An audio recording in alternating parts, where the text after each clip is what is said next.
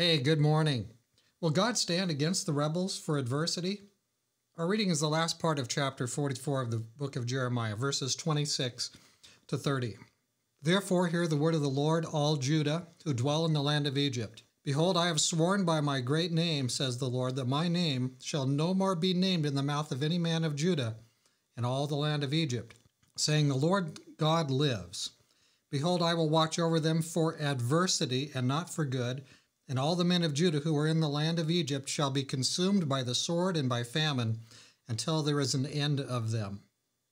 Yet a small number who escape the sword shall return from the land of Egypt to the land of Judah and all the remnant of Judah who have gone to the land of Egypt to dwell there shall know whose words will stand, mine or theirs.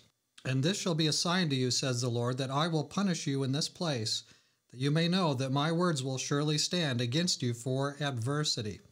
Thus says the Lord, Behold, I will give Pharaoh Hophra, king of Egypt, into the hand of his enemies and into the hand of those who seek his life, as I gave Zedekiah, king of Judah, into the hand of Nebuchadnezzar, king of Babylon his enemy who sought his life. Although God respects the free choice that he's given to each one of us, it's also true that by creation and after we sin, then by redemption, twice over we belong to God. I mean, he has rights to us as being our creator and our redeemer, even though he's given us free will. I mean, think about it. He delivered his people from Egypt. They didn't deliver him, but he delivered them.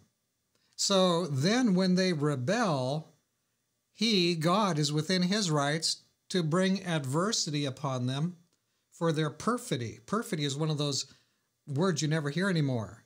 Perfidy, it means basically to be unfaithful, to be disloyal. When we think what God has done for us, and then the way we often have gone back and treated Him in response, perfidy is a pretty good word for that. It's an awful word to think that the God of heaven, that we would treat Him with perfidy. But look this is what God's going to do to these people. They've broken his covenant, and then he says there at verse 26, you know, I'm going to take my name out of their mouth. The, the name of the covenant God, he says, they're not going to be using my name anymore. They have broken the covenant. They're out of the covenant. They've, they've thrown it away. And yet he says also, he's going to preserve a remnant.